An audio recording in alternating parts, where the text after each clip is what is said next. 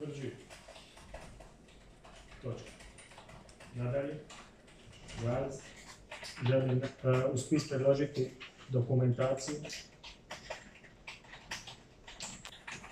iz koje je razvidno kako je sada pokojna Marija Ćorić upisala fakultet građevinarstva, zarez arhitekture i geodezije, zarez smjer geodezija, kao redovan student za školsku godinu 2018. do 2019. Zarez, te kako se 20 dana nakon upisa na fakultet dogodila, dogodila ova nesreća.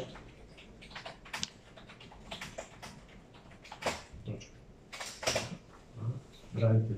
Hvala vam lijepo, predsjedniče, jel mogu direktno završiti. U skladu sa stavom moje branjenice, obrana će u ovom postupku u okviru inkriminacije pod točkom 1 optužnice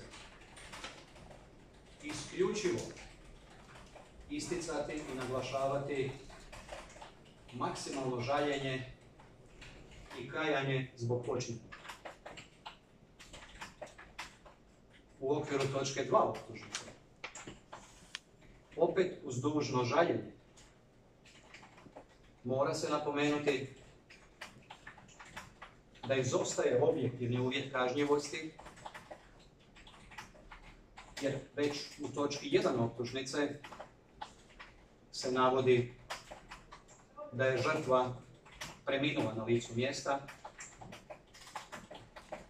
dakle nije bilo osobe kojoj se mogla pružiti pomoć,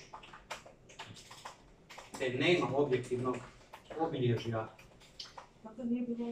kojoj se treba pružiti pomoć, te nema objektivnog obilježja kaznenog dijela pod točkom 2 optužnice. Hvala vam.